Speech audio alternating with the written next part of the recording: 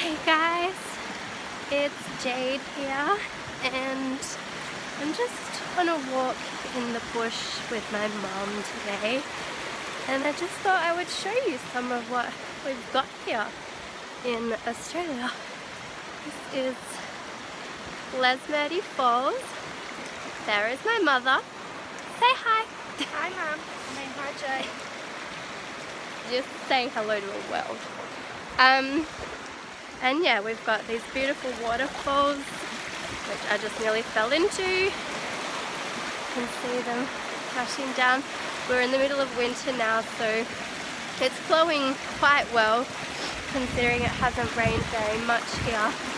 And it's just really beautiful.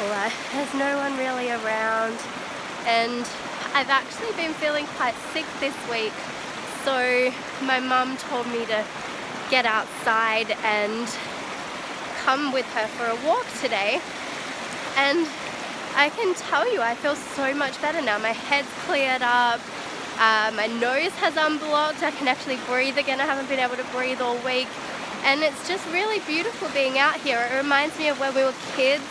We used to always come out and hang out in the bush and my dad used to come riding and we'd just play in the water for hours and have so much fun.